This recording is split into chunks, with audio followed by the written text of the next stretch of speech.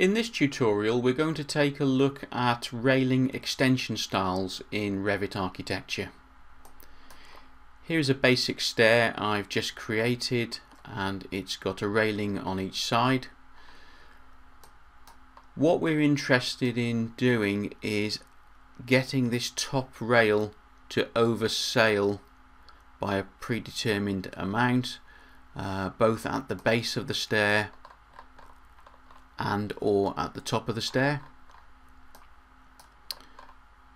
To do so what we need to do is select the top rail only. Now if you watch carefully if I hover over my with my cursor over the whole railing I can select the entire railing and I can see its type in the properties palette. I can edit type in which case I get all the parameters for the railing itself. But in order to extend this top rail over the end of the the, uh, the railing generally I need to single out just the top rail itself. So if I hover carefully with my cursor over the top rail and I use the tab key and I'm just going to hit the tab key once Hopefully you can make out on the screen that just the top rail itself is now highlighted. If I click my mouse button now to select and we look at the properties palette we can see this is the top rail only. So this is a family, a system family nested inside the whole railing family. So once I've picked out just the top rail I can now hit edit type and I can see the type parameters for just the top rail only.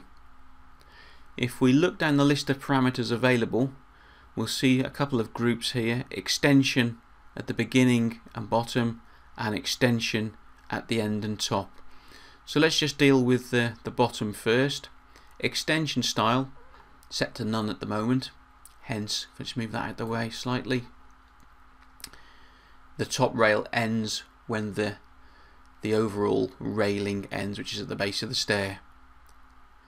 If I in fact I'll just shrink that a little bit you'll be able to see the effect as we go through these.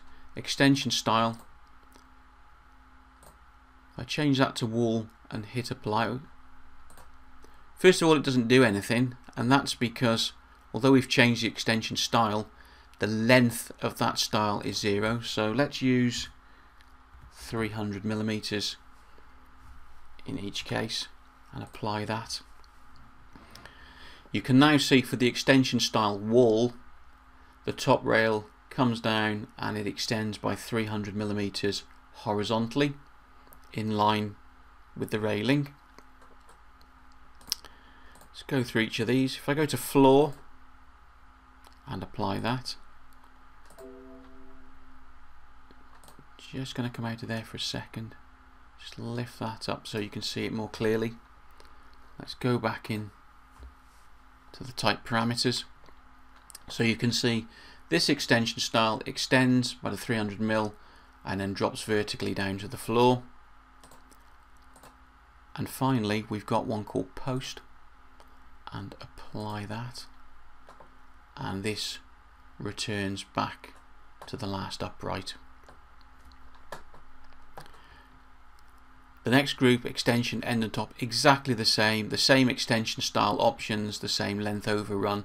It just applies it to the top of the, the railing if you need to. The only other thing to consider down here, we've got termination options for this oversail. So let's say for example we put this back to the floor, apply that beginning and bottom terminations set to none at the moment.